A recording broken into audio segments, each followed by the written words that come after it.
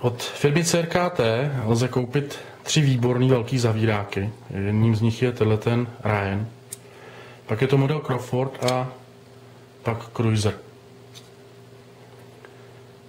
Vynikající poměr cena výkon. V současné době dostali nové barvičky, takže se objevila tato, těžko říct, jestli je to hnědá nebo písková, něco mezi.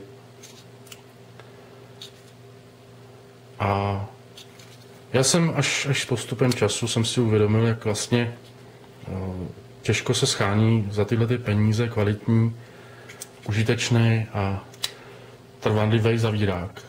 V tomhle může CRKT konkurovat možná jenom Kershaw, Meyerko a Colt.